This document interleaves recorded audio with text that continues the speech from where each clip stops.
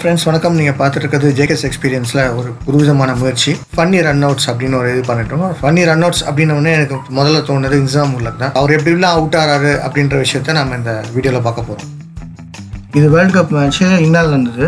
ஸ்பெமிங் ஒரு சூப்பரான ஒரு யார்டர் போட்டார். நம்மால் என்னடானா காலைல எக்ஸசைஸ் பண்ணலன்னு சொல்லிட்டு உட்காந்து ஃப்ளோரிங் எக்ஸசைஸ்லாம் பண்ணிவிட்டு அப்படியே தவிழ்ந்து விழுந்து ஏஞ்சி போகிறதுக்குள்ளே அவர் ரன் பண்ணி விட்டாங்க இதில் என்ன காமெடின்னா அவர் அப்போ கூட அவுட் ஆனன்ற விஷயத்த அம்பையர் சொல்லி கன்ஃபார்ம் பண்ணி அதுக்கப்புறம் வெளியே போகணுன்னு பார்க்குறாரு அவர் என்ன பண்ணுறதுன்னு தெரியல. அது வரைக்கும் ஒழுங்காக நடந்தது அதுக்கப்புறம் நோண்டிக்கிட்டே போனார். இது என்ன கதையோ அவருக்கு தான் தெரியும் இந்த விஷயங்கள்லாம். இது வெஸ்ட் இண்டீஸ் கூட நடக்கும்போது ஆனது. இவர் பாட்டுக்கு முதல்ல ஸ்டார்டிங் கொடுத்துட்டு அப்படியே நின்ட்டார் இதில் இந்த இஜியாஸ் ஆகும்போது ஓடி வந்துட்டார் கடகடன்னு. ஆனால் இவங்க பார்த்தீங்கன்னா நம்ம வெஸ்ட் இண்டீஸ் ரொம்ப கஷ்டப்பட்டு ரன் அவுட் பண்ணோம் அதெல்லாம் பார்த்துருந்தாங்க மெதுவாக நடந்து வந்திருந்தாவே அவங்க அவுட் ஆகிடுவாங்க இப்போது என்ன செக் பண்ணுறாங்கன்னா யார் அவுட்டு இஜாஸ் அகமது அவுட்டா இல்லை இன்சாம் உள்ளக்கு அவுட்டான்னு செக் பண்ணுறாங்க அதுதான் அந்த ரீப்ளே ஓடிட்டுருக்கு.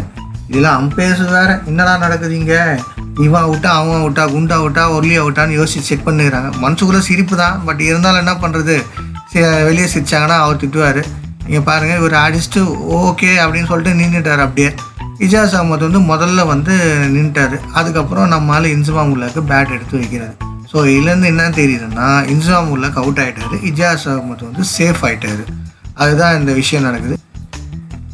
இப்போ ஆட போகிறது இந்தியா கூட. இந்தியா கூட ஆடும்போது காமெடியாக அவுட் ஆவார்.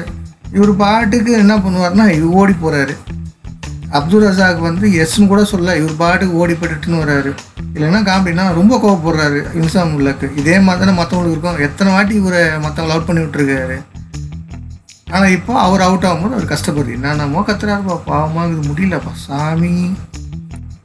ரீப்ளே பார்த்தீங்கன்னா உங்களுக்கே தெரியும். டெண்டுல்கர் போலிங் போடுறாரு. ரசாக் வந்து திரும்பி நின்று அடிக்கிறாரு. ஆனால் அது டைரெக்டாக ஃபீல்டுக்கிட்ட போகுது. ஃபீல்டு என்ன பண்ணுறாரு நம்ம ஆளுக்கு எங்கே இருக்கிறாரோ அதுக்காக கரெக்டாக அந்த இடத்துல அடிக்கிறாரு. இப்போ எடுத்து அடித்த உடனே அவர் பாருங்களேன் அவர் முகத்தில் எவ்வளோ டென்ஷன் வருது.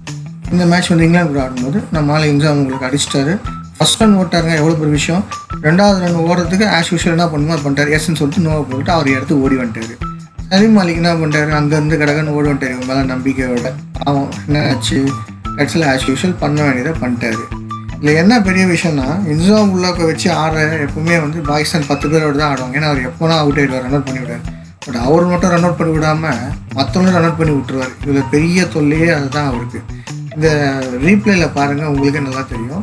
ஃபர்ஸ்ட் ரன்னு ஃபாஸ்ட்டாக ஓட்டார் என்ன காமெடினா சலீம் மாலிக் வந்து இன்சாமுல்ல கூட கொஞ்சம் வயசானவர். அவர் ரெண்டாவது ரன் ஓடுறதுக்கு அவரும் ஈஸியாக வந்துட்டார்.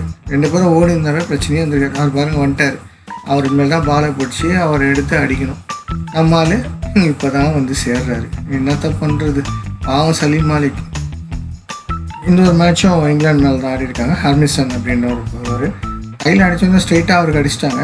பட் நம்மெல்லாம் வந்து என்ன பண்ணுவோம்னா பைக்குக்கும் காருக்கும் தான் வழி விடுவோம் பட் உலகத்தில் இன்ஜாம் உள்ளக்கு மட்டும்தான் பாலுக்கு வழி விடுவார் நீ இப்போ ஸ்டம்பில் அடிச்சிக்கோ அப்படின்ற மாதிரி.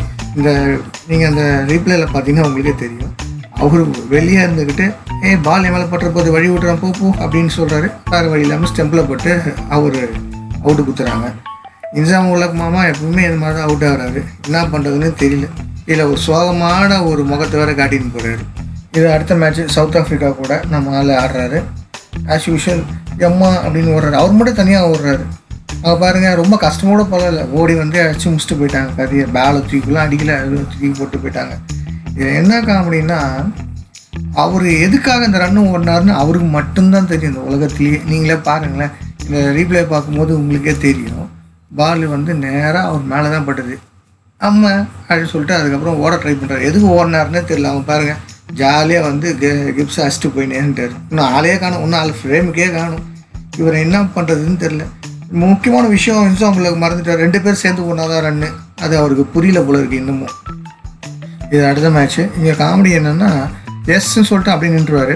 இதில் கூட ஓடி வந்துடுவார் ஏன்னா வந்து இவ்வளோ நேரம் வந்து இவர் அவுட் ஆகிட்டு இருந்தார். இப்போ மற்றவங்கள அவுட் ஆக்க ஆரம்பிச்சிட்டார் மறுபடியும். பட் என்ன அவர் காமெடின்னு எனக்கு புரியல. எஸ்ன்னு என்ன அர்த்தம்? அது தெரியலையா? என்ன கதைன்னு தெரியல எனக்கு இன்னமும்.